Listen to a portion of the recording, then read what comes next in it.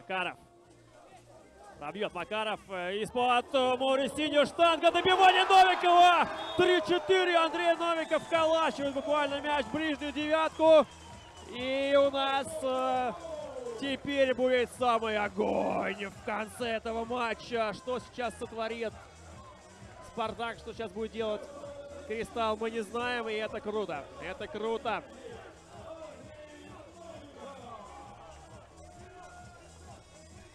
Болельщики Спартака получают хорошую надежду. Сработал в том числе и тайм-аут. Здесь штанга.